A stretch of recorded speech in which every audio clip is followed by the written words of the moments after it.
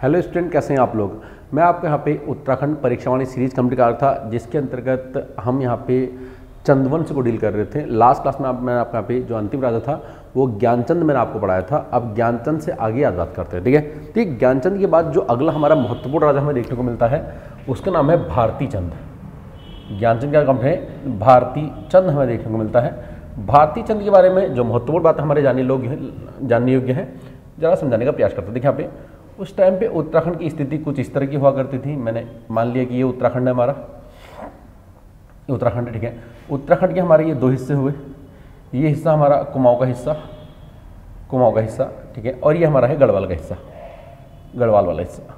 कुमाऊँ में चंदों का जिस टाइम पे राज हुआ करता सेम टाइम पे गढ़वाल में पवारों का राज हुआ करता था। अब ये समझना, ठीक है। तो चंदो गद्दी पे इस टाइम पे कौन है यहाँ पे? अब भारती चंद। यहाँ पे अब जो राजा है, वो है भारती चंद। देखो भारतीय चंद से पहले जितने भी चंद्रवंशी राजा हुआ करते थे जो मैंने आपको लास्ट क्लास में पढ़ाए थे, वो सभी राजा मांडलिक राजा हुआ करते थे। मतलब एक तरह से आप गुलाम हुआ करते, आप ये समझ लीजिए, ठीक है? मांडलिक राजा या सामंत? सामंत क्या होता है? राजा के नीचे राजा, ठीक है? मतलब यहाँ के लोगों के लिए यही राजा है, लेकिन वास्तव में ये किसी और को टैक्स दे रहा है। तो इसके ऊपर कोई और राजा है। कौन राजा थे? जो शुरुआती जो दौर पे जो चंद लोग हुआ करते हैं मतलब भारत चंद पहले। ये इधर वाला जो ये नेपाल का एरिया है, ये नेपाल वाला एरिया। यहाँ पर रहता है डोटी। ये नेपाल का ही क्षेत्र है, ठीक है? इसे डोटी बोलते थे। तो ये जो डोटी जो एरिया था, इनको ये लोग टैक्स देते थे। भारत चंद के पहले के राजा, ठीक है? ध्यान लेकिन जब भारतीय चंद गद्दी बैठा, इसने क्या किया? इसने इधर डोटियों पे इसने आक्रमण कर दिया, ठीक है? भारतीय चंद ने क्या कर दिया यहाँ पे डोटियों पे आक्रमण कर दिया, और ये इसका बहुत लंबा युद्ध चला, ठीक है? बता दें कि ये युद्ध जो था, यहाँ पे जो युद्ध चला, ये युद्ध 12 वर्षों तक चला, कितने पे बारह वर्षों तक युद्ध चला। मतलब चंदो ने बारह वर्षों तक डोटी को घेरे रखा और यहाँ पे बहुत उत्पात मचाया, ठीक है? जब बारह वर्षों तक डोटी में ये लोग रहा करते थे, ठीक है तो यहाँ इससे क्या हुआ? यहाँ पे भारती चंद्र ने एक प्रथा चलाई, ठीक है, एक प्रथा चलाई, जिसे बोलते हैं कट्टकाली प्रथा। कट्ट, कट्टकाली प्रथा। कट्टकाली प्रथा इसे कहा जाता है।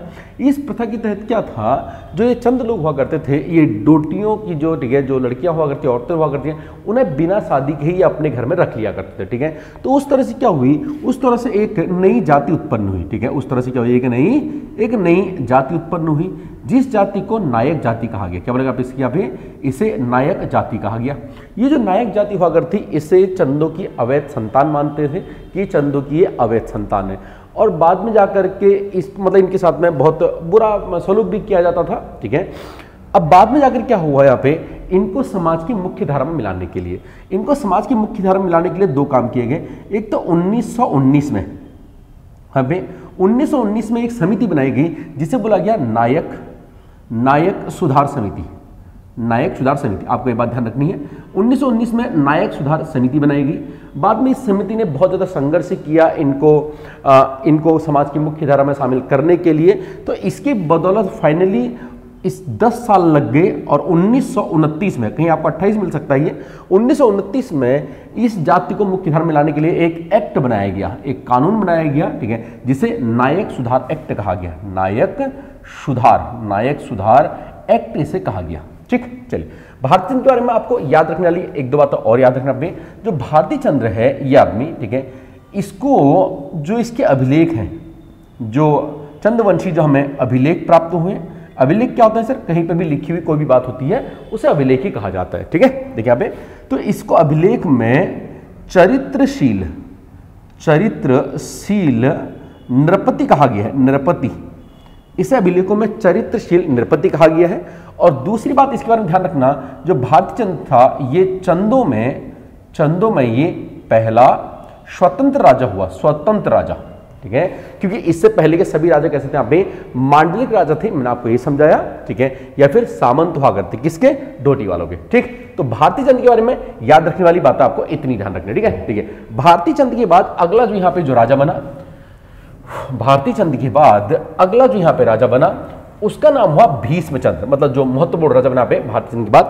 आपको याद रखना भीष्मचंद्र ठीक है भीष्मचंद्र और बालो कल्याण चंद्र ये दोनों बाप बेटे हैं। भीष्म भीष्मचंद्र और दूसरा है बालो कल्याण चंद्र। बालो कल्याण चंद्र। बालो कल्याण चंद आपको ये दो दो आपको एक साथ ही पढ़ने चाहिए। जरा मैं आपको समझाने का प्रयास करता देखिए, यहाँ पे था, चक्कर क्या था? बात कुछ ऐसी है जिस टाइम पे भीष्मचंद्र हुआ करता था, ये आपका भीष्मचंद्र है। मैं एक बार फिर से ये बनाता हूँ। ज़्यादातर काम ऐसे ही करना मुझे ठीक लगता है। ठीक है फ्लो चार्ट और ग्राफ के माध्यम से ही। बहुत ज़्यादा लिखना मुझे पसंद है नहीं, इसलिए ना मैं ज़्यादा लिखता हूँ, ना मैं आपको ज़्यादा लिखवा सकता हूँ। तो आपको थोड़ा सा ध्यान रखना पड़ेगा। मेरे ख्याल से ठीक रहेगा, आपके लिए भी सुविधाजनक रहेगा। बहुत ज़्यादा आपको भी लिखना नहीं पड़ेगा। देखिए, आप समझे यहाँ पे, ये वाला एरिया फिर से कौन सा आ गया आप ये अपना कुमाऊं का एरिया है। ठीक है, और ये अपना गढ़वाल का एरिया है। कोई दिक्कत वाली बात नहीं है। ठीक है? अब यहाँ पे लेकिन राजा चेंज हो गया। कौन आ गया? पे पहले बात करते हैं भीष्म चंद की। देखिए भीष्म चंद यहाँ पर आ गया। अब प्रॉब्लम क्या है? देखिए, मैंने तो ऊपर लिख दिया। वास्तव में जो भीष्मचंद था, ये इधर रहा करते थे। चंदों का जो शासन हुआ करता था, वो शासन था इधर चंपावत में, ठीक है? यहाँ पे राजा है भीष्मचंद्र। भीष्म चंद यहाँ राजा है। अब ये देखिए, अब जब जब यहाँ पे पहले भारतीय जनता ने इधर आक्रमण कर दिया था, अभी थोड़ी देर पहले तो ये लोग क्या करते थे? इधर को बार बार आक्रमण करते थे। कभी इधर से आक्रमण हो रहा है इसमें, ठीक है? ये डोटी वाला क्षेत्र है यहाँ से आक्रमण हो रहा है। कभी इधर नीचे से रोहिला लोग आक्रमण करते थे, जो रोहिलखंड वाले, यानी बरेली वाले क्षेत्र से, ठीक है? इधर से रोहिला आक्रमण करते थे। इसलिए जो भीष्मचंद्र था, अब तो फिर प्रॉब्लम ये भी थी, भीष्मचंद्र क्या था? अपने मतलब इसकी काफ़ी एज हो गई थी इसकी। अपने बुढ़ापे में राजा बना था ये, अपने बुढ़ापे में, ठीक है? मतलब लगभग अब ये फोर्टी ईयर का हो गया था तब ये राजा बना था। इसलिए इसको खतरा था कि कहीं कोई इधर से इधर से आक्रमण करके मेरे राज्य को हड़प ना ले। इसलिए इसने क्या सोचा? इसने कहा कि मैं अपनी राजधानी को थोड़ा सा शिफ्ट करता हूँ। इसकी राजधानी पहले यहाँ राजबुंगा हुआ करती थी। आपको बताइए, चंदू की राजधानी राजबुंगा हुआ करती थी, जो चंपावत पड़ता है। मैंने आपको लास्ट क्लास में बताया था, ठीक है? तो अब ये राजधानी को इसने सोचा कि मैं थोड़ा ऊपर को ले जाता कहा जाता है अल्मोड़ा। ये अपनी राजधानी को अल्मोड़ा ले गया ठीक है?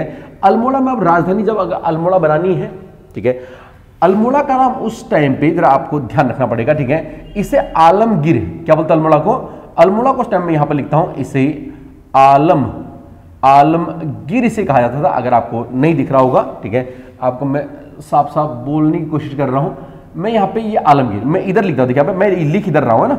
मैं इधर लिखता हूँ आलमगिर। आलमगिर। अल्मोड़ा को उस टाइम पे आलमगीर कहते थे। तो इसने क्या किया? अल्मोड़ा में एक किला बनाया। अल्मोड़ा इसने एक किला बनाया, ठीक है? इस किले को बोला गया। इस किले को नाम था खगमरा किला। इसे बोलते खगमरा। ठीक है? खगमरा किला। क्या के लिए बनाया इसने मतलब इसको राजधानी चेंज कर, शिफ्ट करनी थी तो इसलिए इसने अपने बैठने के लिए वहाँ पे किला बनाया। लेकिन उस टाइम पे ये जो अल्मोड़ा वाला एरिया है, ये जो अल्मोड़ा वाला एरिया है, यहाँ पे एक राजा हुआ करता था। उसका नाम था गजबुट। एक खस राजा हुआ करता, खस राजा, ठीक है? एक खस राजा हुआ करता था। उसका नाम था गजबुटिंगा। गज बुटिंगा इसका नाम हुआ करता था, ठीक है? जब गजबुटिंगा ने देखा कि भीष्म ने तो यहाँ पे किला बना दिया, अब ये यहाँ पे अपना कब्जा जमा लेगा, अधिकार कर लेगा, ठीक है? तो गजबुटिंगा को ये बात हजम नहीं हुई, और गजबुटिंगा ने एक रात जब भीष्म चंद्र सो रहा था, तब इस गजबुटिंगा ने क्या कर दी इसकी? हत्या कर दी। आपको मेरा समझ आ रही है, ठीक है? गजबुटिंगा ने क्या कर दिया? भीष्मचंद्र को मार डाला। मतलब ये राजधानी शिफ्ट करने वाला था, क्योंकि खगमरा किला बना चुका था ये। कब बनाया सर किला? 1560 में। ये राजधानी शिफ्ट करने वाला था कगमरा किला बना दिया था, लेकिन उससे पहले ही गज बुटिंगा ने क्या कर दिया, इसकी हत्या कर दी। मतलब भीष्मचंद्र का गज जो राजधानी स्तंभ करने का सपना था, वो अधूरा ही रह गया। अब इसका ये सपना जो पूरा करेगा, वो पूरा करेगा इसका बेटा बालो कल्याण चंद्र, ठीक है? बालो कल्याण चंद्र, अब गज बुटिंगा यहाँ पे कौन मर गया पे भीष्मचंद्र जब मर गया तो भैया स्थिति अब फिर से चेंज हो गई। स्थिति कुछ ऐसी बन गई है, जरा समझने का प्रयास करिएगा। यानी कि अब चंदू गद्दी पे, अब जो चंदू की गद्दी है, उसमें कौन आ गया यहाँ यहाँ आ गया भीष्म जरा समझिए पे। चंदू की गद्दी पर, यहाँ पे आ गया पे, यहाँ पे आ गया बालो कल्याण चंद्र। आपका बालो कल्याण चंद्र आ गया, ठीक है? और ये रहा आपका अल्मोड़ा वाला एरिया। अल्मोड़ा में कौन बैठा हुआ यहाँ पे? यहाँ पे है गज बुटिंगा ये आपका अल्मोड़ा वाला एरिया है, यहाँ पे है गज बुटिंगा ये गजबुटिंगा है, ठीक है? तो बालो कल्याण चंद्र सबसे पहले क्या करेगा? राजधानी को स्थानांतरित करेगा। राजधानी स्तंभ करेगा, क्या इतना आसान है? नहीं, कब तक नहीं हो सकती? जब तक गजबुटिंगा ज़िंदा है। तो बालो कल्याण चंद्र ने क्या किया? सबसे पहले इसने इस गजबुटिंगा पे आक्रमण कर दिया। सबसे पहले इसने इस पे आक्रमण किया और इसकी इसने हत्या कर दी, ठीक है? कब करी सर? पंद्रह में, ठीक है?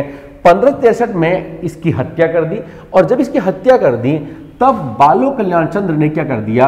पंद्रह में ही ये अपनी राजधानी को इसने शिफ्ट कर दिया और कहा ले गया ये? खगमरा। ठीक है? तो यहाँ से आपसे प्रश्न पूछता है खगमरा।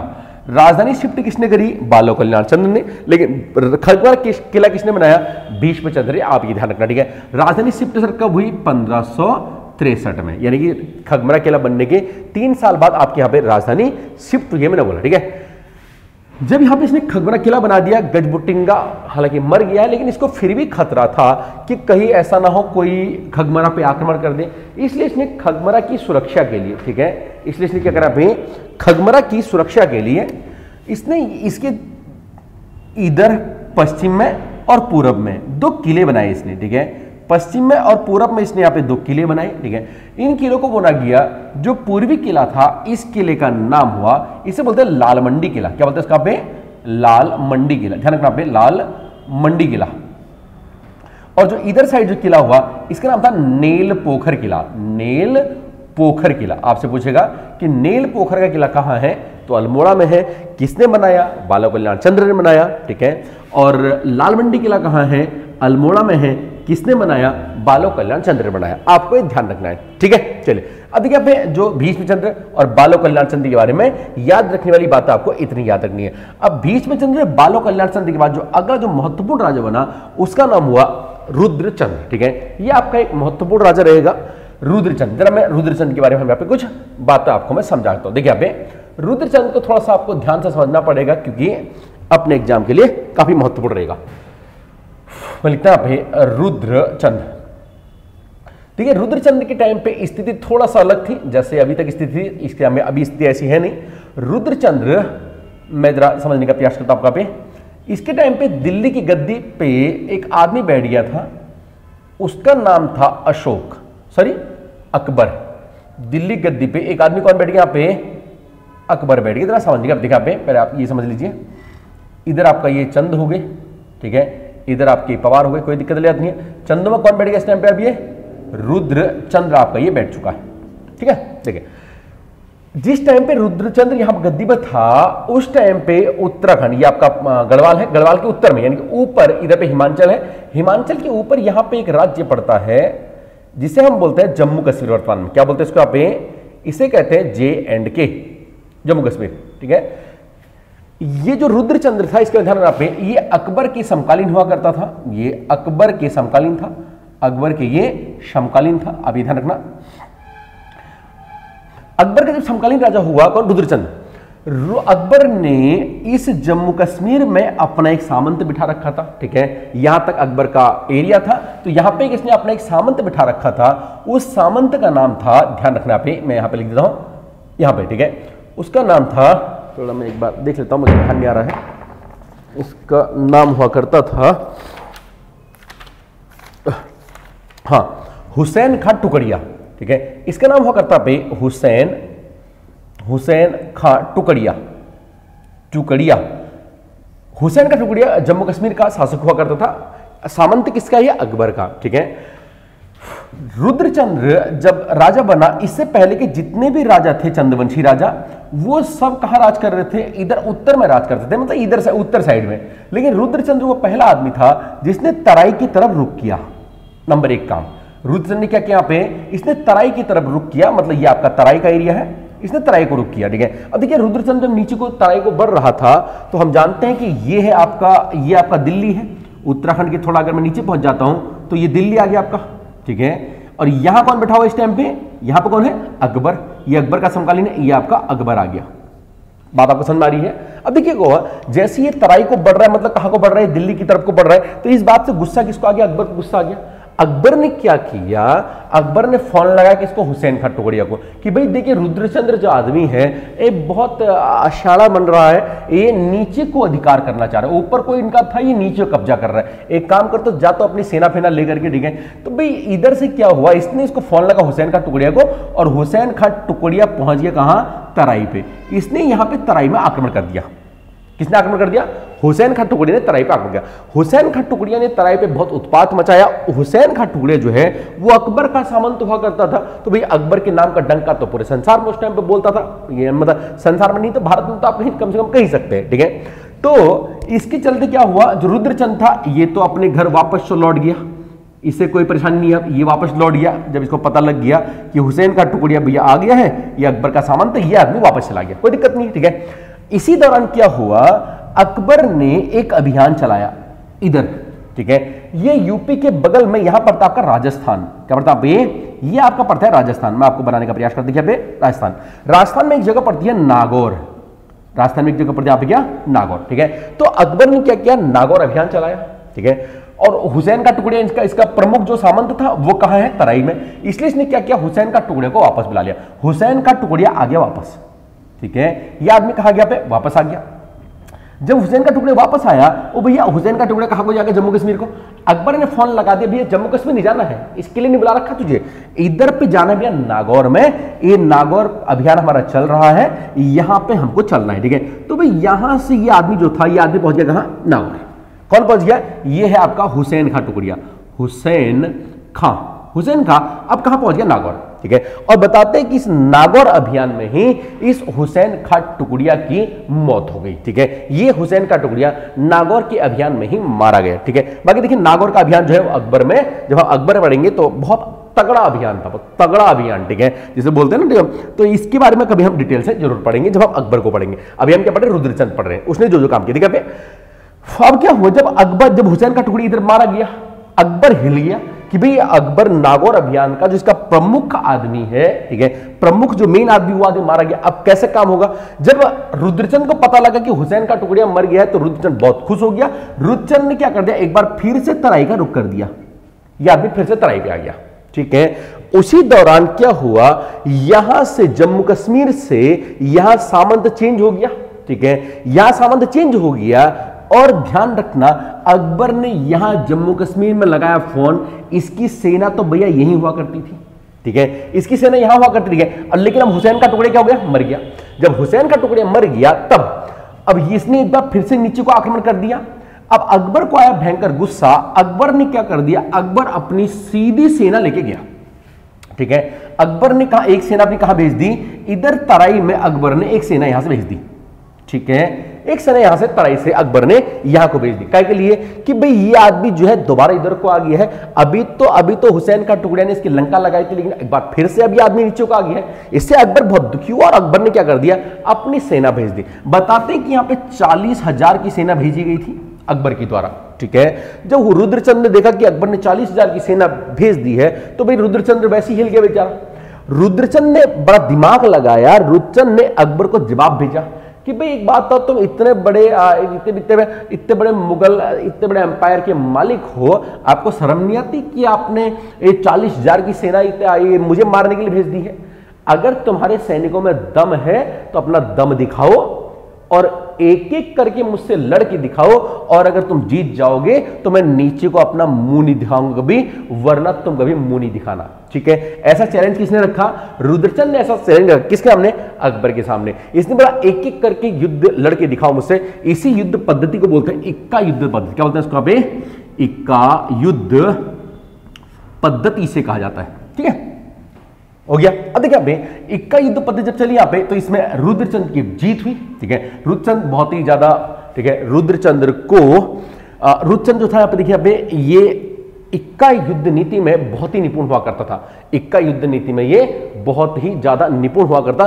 तलवारबाजी में ये बहुत माहिर था, ठीक है? इस वजह से इसने इक्का युद्ध नीति में एक एक करके सबकी लंका लगा दी, ठीक है? जिससे क्या हो गया? अकबर खुश हो गया। अकबर ने देखा, यार, कि ये बंदा तो बहुत ज़्यादा टैलेंटेड आदमी है। ये मेरे काम आ सकता है। इसलिए अकबर ने रुद्रचंद को फ़ोन किया, भाई, देख एक काम कर। एक डील करते हैं, तुझे तराई की ज़मीन चाहिए, मैं तुझे दे देता हूँ। एक काम कर, हमारा अभियान चल रहा है नागौर का।